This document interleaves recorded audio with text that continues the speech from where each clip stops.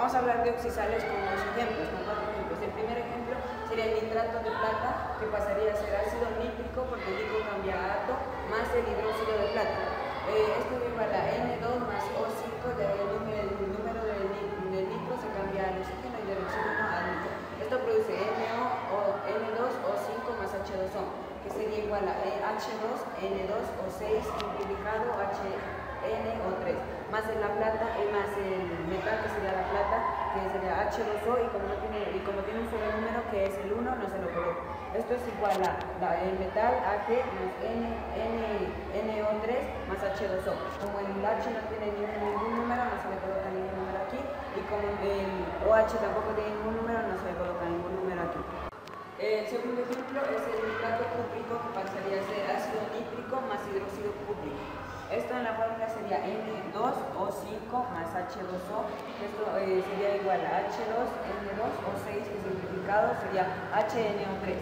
El HNO3 más el metal que sería el Cu más OH y el 2 porque el Cu tiene el número de oxidación 2. Esto sería igual a CuNO3 2 más el H2O quedaría igual a esto.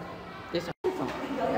El tercer ejemplo sería el fosfato mercúrico, que quedaría igual a ácido fosfórico, porque el ICO cambia a el ato cambia a ICO y el hito cambia a OS, eh, más hidróxido mercúrico.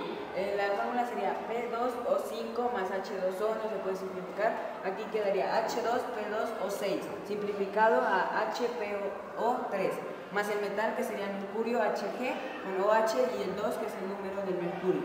Esto produce Hg PO3, 2, porque el H, eh, aquí va el número del OH, más H2O. El último ejemplo sería el nitrito crómico, que pasaría a ser ácido nitroso más hidróxido crómico. Esto en la fórmula sería N2O4 simplificado a NO2 más el H2O sería igual a H2NO3, más el metal que sería el cromo, OH con el 6 que es el número del cromo. Produce el, el CrNO3 más 6 porque es el número que tiene el OH y 2 porque es el número que tiene el H. Esto simplificado daría igual a CrNO3 eh, corchete 3 más H2O. siguen las sales aloides con el sulfuro auroso. Primero se coloca el nombre de el, eh, del oro, que es AU, y luego el del azufre, que sería la S. Se coloca el número se coloca el número del oro en el, en el, azufre, del que sería el 3.